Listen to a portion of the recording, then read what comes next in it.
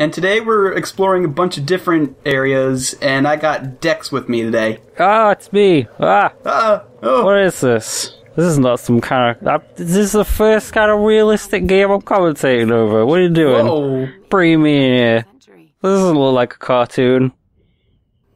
I don't know. The uh, damage that Laura can take is pretty cartoonish. Oh, okay.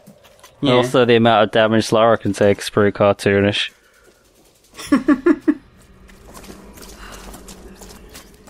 Yeah, so this is um Oh god, I forget what the area is even fucking called, but It's uh it's it's not a good area. This is for what for what I remember. no, this is a small area. This is not Shantytown. Oh, okay. Shantytown is getting its own goddamn video. a whole video to itself. to, to itself, yes. Yeah, I could believe that. I remember trying to puzzle my way through that place and just being like, what? do I? Uh, uh, no, okay, I'm lost. Help someone." It's even worse when you're trying to 100% it because everywhere it looks the same, but I'll I'll complain about Shantytown at a later time. This is not the time nor place to complain about Shantytown. So what is your experience with this game? Have you played this game? Have you 100%ed this game? I have played this game. I did not 100% it, but I did play this game and I did enjoy it. Like, I burned through it in like a day, a few hours. Like, I think I got like a playtime of seven hours in it, and I played like all day one time because I think I was sick. And I had it on Steam, and I was like, I'll just, uh, I'll just play this. I heard some people say this is an alright game. And I'm interested to see what it's like. I heard it's like Uncharted, and then it was like Uncharted, and I was like, cool, I'll just sit here and play this game all day. Oh, there are a couple games out there that are like Uncharted but bad. Like, how do you fuck up this sort of thing so badly? I don't know, it's a pretty simple, straightforward thing. You I think, think. of a couple of cool things to destroy, and then you Mm-hmm. destroy them, and then you just repeat that process about five or six times. Put them about an hour apart from each other. Yeah, I got some good cutscenes, some likable characters. Some weird supernatural shit going on. Yeah, it's not. It's not too difficult. Now, have you played any of the other Tomb Raiders? Um, yeah, I played. I think actually, I have Tomb Raider 2 like kicking around on PC somewhere. Um, so I played that one. I actually have like vague memories of my dad playing Tomb Raider 1 um, on like a Windows 98 or something like that. um, I I played Tomb Raider 2 like a little bit when I was a bit younger, and I was like.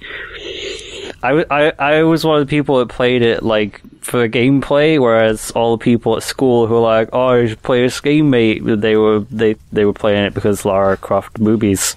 Yeah. Um, so I was like, "What's the appeal of this game?" um, I didn't really get very far in it. Uh, I locked the butler in the freezer, and that's about all I remember. um, I had Tomb Raider Legends on the Xbox 360. I think that was one of the first Tomb Raider games I owned. Yeah, one of the one of the first. Uh, sorry, one of the first 360 games I owned was Oh, okay. the Legend. Um, and I thought I thought it was pretty good actually. From what I remember, I had a good time with that game. Uh, this is the first one I had ever played, and then for the LP, I tried playing the first game, Hmm. and then I got to one particular level where I was like, wow, this game is bullshit, and I'm not having fun with it anymore, so I stopped. Oh, yeah, I remember because you were doing a blind Tomb Raider one thing. Did so you stopped doing that? You're not Yeah, I stopped doing that because I, because, like, I seriously wasn't having any fun with it, and I'm not going to force myself to do something that I'm not going, I'm not having fun with ever again because, like, f- fuck, I already did that for All for One. Yeah. Ooh. Yeah. That's all right. I I know the pain. I know the pain. Go watch his Nuts and Bolts LP, it's pretty good. Yeah, check out vndlp.com. Wait, that's not right. YouTube.com forward slash vndlp. This is uh, the mountain base, I think. And for some reason, there's no destructibles here, but I always think that there are destructibles here when I'm running around on it. At least I was in my practice run. For this run, I remembered, like, oh, that's right, there's actually nothing to destroy here. So don't bother looking. because I thought that like almost every area has uh has like collectibles or destructibles that count towards the hundred percent stuff. Yeah. And I've said before, but those are a bitch to find because you can get treasure maps for all all of the areas, Yeah. and they'll point you to where most of the stuff is, but they won't point you towards those. Hmm. So if you don't remember where you got them because they're not marked on the map, then well, good luck trying to find ones without a map. Or Yeah. yeah, it's I- it's I yeah, I, I haven't I haven't like I said, I haven't 100% of this game, but I did watch um my fiance's sister like trying to go after all the collectibles and she was pretty far into it. Um and I just have like this this memory of watching her trying to find this thing. Like she was over by the beach and she was like looking for this collectible. She's like, "Where the hell is it?" And she was like looking at a bunch of guides, and like when when when she found it was like under the water.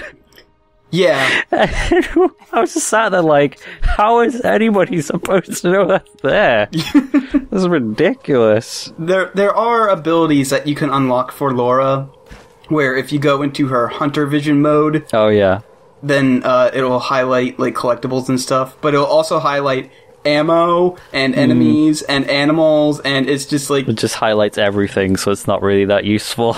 yeah, pretty much.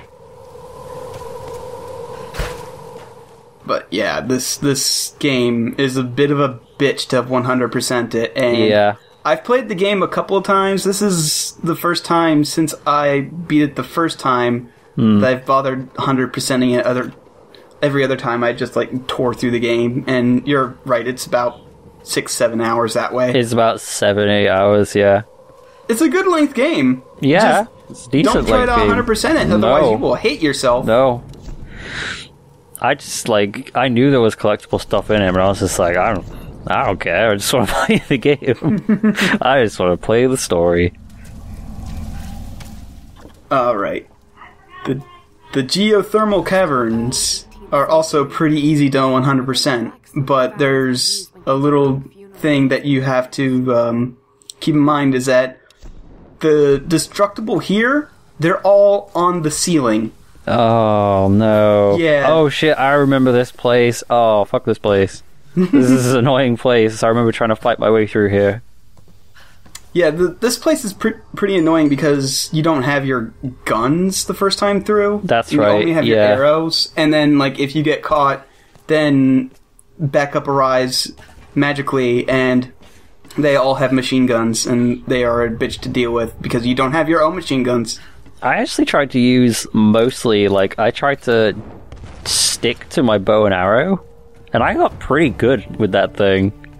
Yeah, um, I used to say that the shotgun was my favorite weapon, but Yeah. having played through this game for the 100% for the first time in a while, let me tell you right now, the upgrade machine gun just gets ridiculously good. The machine gun.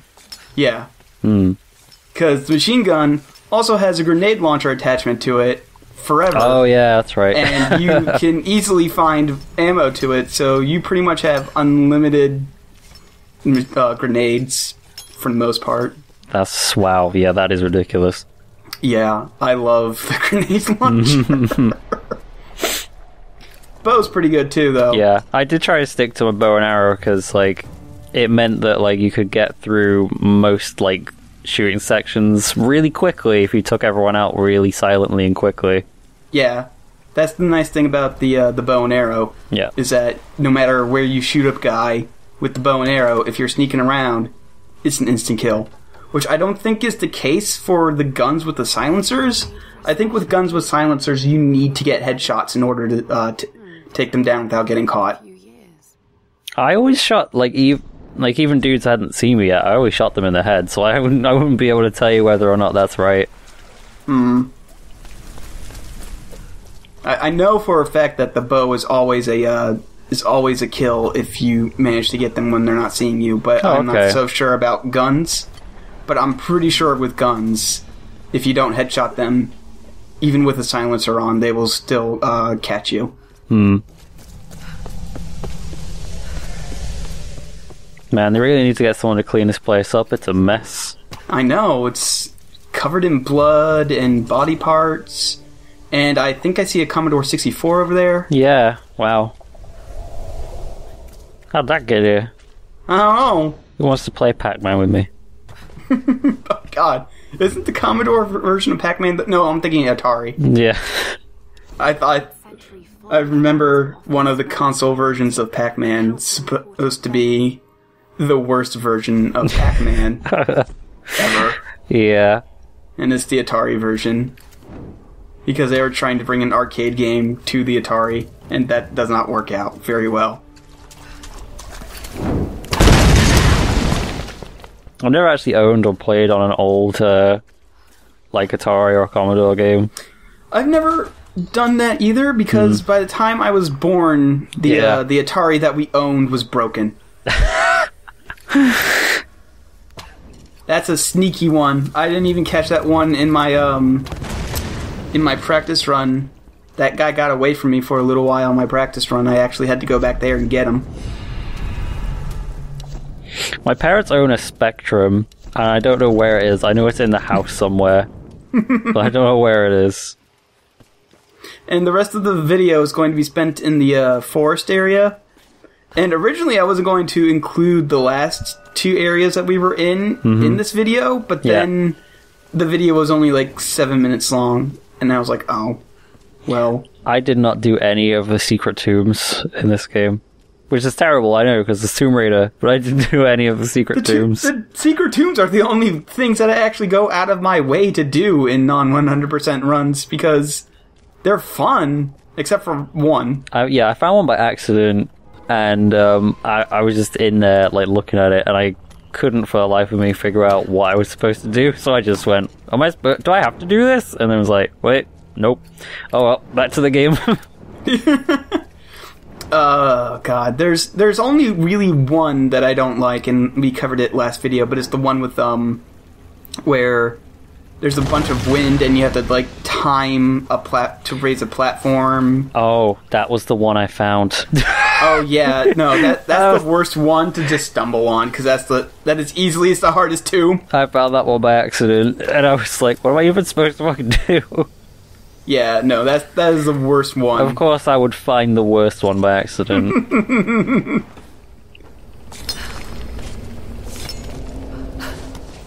But most of them aren't too bad. so is this the this is the definitive uh, definitive edition, right? Right, which is just uh, PC at max graphics basically, and then so I was all the say, DLC was not- included. This does not look very much different from when I played it. Yeah. That's because it's just the PC version on console. Yeah. Hmm. Like the definitive edition is basically just like, well, we had all the PS, we have all the DLC on it, and also uh, Tress effects. Uh, yeah, Which I, what are your opinions on the Tress effects? the Tress effects are on the hair, right? Yes. I mean, I get why they use them because it's an easy way to animate hair, but at the same time, I kind of feel like uh, they just probably have spent like a little bit more time just kind of getting the hair so it doesn't clip through the bow and the arrows. As shown right Yeah. here. uh, And also, no matter no matter what you're doing, it's only like the ponytail parts that like fall down. So like Yeah. half of her hair, when hanging upside down, is still acting like she's still standing straight up. I mean, I know, I, I, you know, I, I spent a lot of time with an animator. That's my fiance. She's an animator, so I, I know like stuff like hair is a pain to animate. Uh, I, I know it's like a nightmare, so I can't really say, oh, I think they should have spent more effort on on this because I, I get it. Like, if there's an easy way out for animation, animators will take it Yeah, because it makes their job easier. like the only people who I know who don't do that are Pixar, and that's because Pixar is just like fucking obsessive Yeah. over shit like that. Because I think with almost every movie they've done, they've had to like build a new hair engine from the ground up. I think the only time they ever really shared ones were when they um I think they used the same stuff for Violet's hair as they did with Sully's fur. Yeah, I think that sounds that sounds right. Yeah. Yeah, I think that's the only time they ever just were like, well, we don't have time to do a thing, so We'll just reuse that thing we did. yeah. Yeah. But usually they build something new from the ground up, which is just like damn impressive. Yeah. I mean, I just, I know in general, hair is just, when it comes to animation, hair is just like, where do you even start? I draw occasionally, and let me tell you, like, hair and hands are the worst. Oh man. Well, feet too, but usually, but the answer to feet is just put some shoes on them. yeah. Don't have to worry about toes anymore. What if you draw a naked person? That doesn't make very much sense. Kayla, why is it, why is your life drawing got shoes on it? Shut up. No. Uh, she she came in with those on. She's uh she's a never nude, but she, but she says that the shoes technically count. Trying to find a mushroom because the mushrooms are bitches to find. Like Yeah. even looking at a map is uh it helps a little bit, but like they don't really give you detailed areas of where to find them. What is she gonna do with his mushrooms? She's gonna make a really big stew? I don't know, cause like in the last video, uh, I I pointed out the fact that she's in the mountain range collecting eggs. It's Yeah. like Laura, why are you collecting eggs? Those aren't archaeological finds. You're not a biologist. She's gonna make a sick ass omelette with those eggs. And the mushrooms, apparently. Yeah, oh, that's gonna be great. Yeah. I mean, um, uh, uh, unless the, the caps safe to mushrooms. eat? Yeah, unless the mushrooms aren't actually safe to eat. somebody in the thread, tell me if red caps are safe to eat. I have a feeling like they aren't. Because that's what the mushrooms are, apparently. Because it's a, it's the challenge is called Red Cap Roundup. So. Oh right, and another thing that um the the treasure maps are only kind of helpful, but in another way that they aren't really helpful is that they don't give you any uh, indication of where vertically on the maps things are. So you can be standing like right on top of where the game says a GPS is and be like, where the hell is the GPS? And it turns out it's like 20 feet above you. And in this case, one of the treasures that I have to get is in the trees. You know, one main thing that bothers me about like collect like hundred percent collection in games like this, it's like the game's sort of semi-realistic. So when you get like a uh, like a kind of cartoony game, it's like when you collecting stuff, it's like you don't care because it's a cartoon already. But Yeah. like when when it's collection in a sort of a realistic game, it's like why would they do that? Did they just suddenly decide that they were going to start collecting mushrooms and eggs? At least uh, the Batman games sort of give a plausible explanation for this. It's because Riddler's hiding shit all around, and uh, Hmm. Yeah. Batman's just like, hey, if I find all this shit, I'll ruin Riddler's day. And man, nothing feels better than ruining Riddler's day in any of the Arkham games. Hmm. Yeah. I mean, I I get it in Uncharted because he's he's a treasure hunter, so he finds treasure and he's like, "Oh yeah, give me that shit." But in in this game, it's like, Lara, why why are you collecting these things? Do you need them?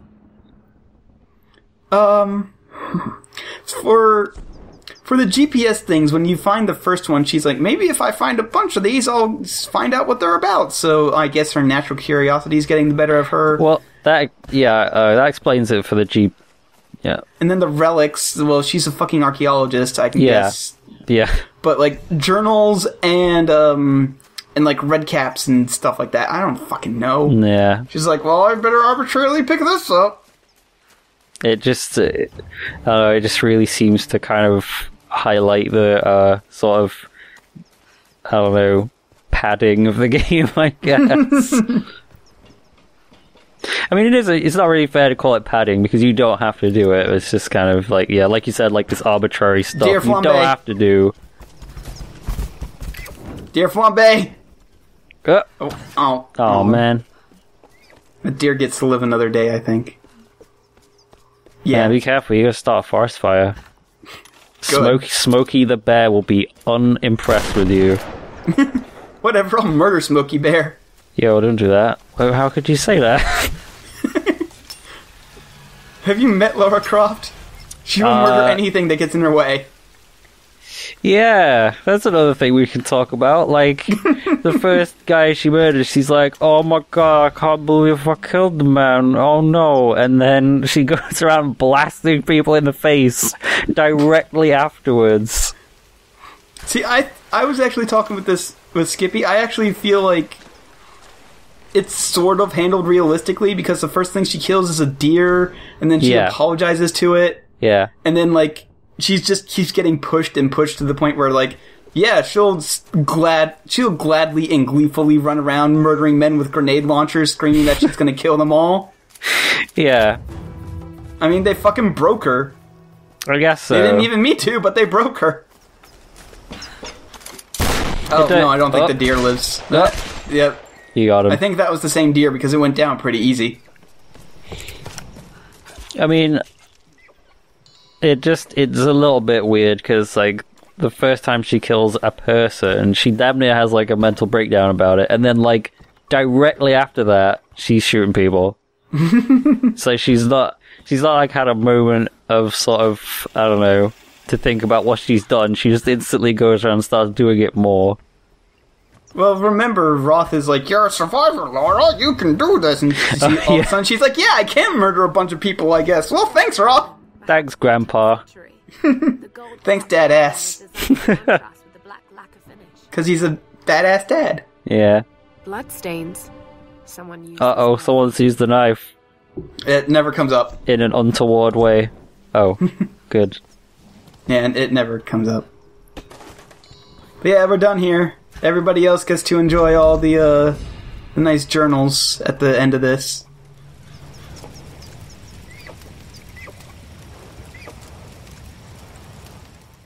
Is that are we, we done? Is that it?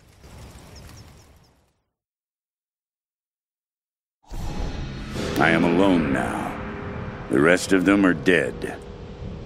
This is for the best.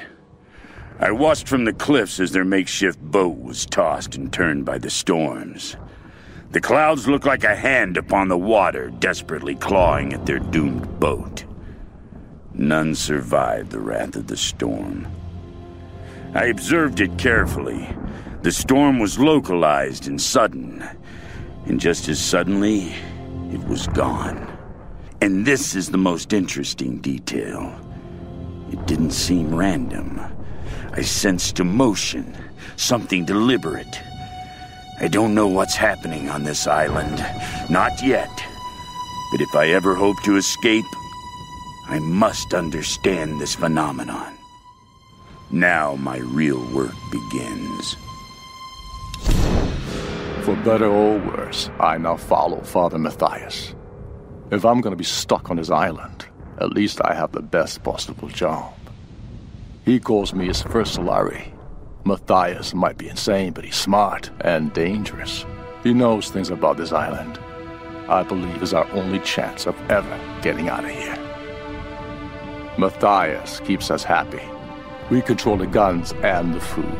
Anything the storm brings to this island is ours, and we decide the fate of any new survivors. Any who defy us are killed. We are masters of this fucked up prison. A plan is taking shape in my mind. In order to unlock the power of this island, I first need to understand what has happened here. I need time and room to study this place. There are many mysteries here. Foremost of which, the ruins of an ancient Japanese empire and a mysterious queen. It all started with her. Over the years, there have been other survivors, but I've avoided them. And if they got in my way, I was not merciful. But now I know I need others. In order to move forward, I must fully control this island. So I will gather a small group of loyal followers. They must understand power and the need to organize. But more importantly, they cannot hesitate to kill or use violence. It will be part of their life here. They will need structure and purpose and work. But when this island is mine, I will discover the true secret of the storms. The years pass, and I now hear her whispers in my sleep. It is the Sun Queen. She is urging me on. I see her magnificent face with every sunrise. Soon now. My Solari toil in her name, building a city from all that she has brought to the island, torturing and sacrificing in her name. Soon now, we will find the one. I long for escape, but not simply from this island. From all of this, the wrecks, bodies, and squalor. If I can bring my queen back, it will all vanish in an instant. And like the sun rising anew, she will bathe all the land and seas with her light, burning away everything. I will emerge from this scorched earth, reborn and pure. Lara, I'm sorry. I got you into this mess. I made a promise to your father. The last time I saw him, I swore I would look after you, keep you out of trouble. And what did I do? I put you right in the thick of it. Now you're the one looking after me. You know, you're just like your father. He was smarter, wiser, and stronger than anyone I knew. And he never gave up, no matter how tough things got. I worry about you. But I know if there's anyone who can survive this place, it's Lara Croft. Whatever happens, I want you to know that I loved you like the daughter I never had. I'm proud of you. Storm Guard warriors, today we stand on the brink of a great change.